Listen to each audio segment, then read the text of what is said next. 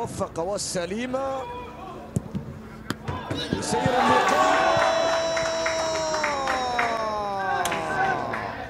يغير من سير اللقاء الآن. نادي الخور يفعلها. يفعلها في الدقيقة الخامسة عشرة. من اللاعب سيف عبد الله المريخي. سيف يسجل. لاحظ المتابعة بتسديدة قوية. وبهدف جميل. يشعل المباراة. هنا الإعادة لهدف. والخور إذا ما انتهت هذه المقابلة على ما هي عليه ب 39 نقطة. هنا المتابعة يعزز هذه النتيجة.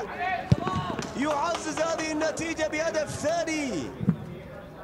بهدف ثاني. على الهدف الثاني لاحظ الإعادة هدف ثاني لنادي الخور. يعزز صداء يعني وضعيته.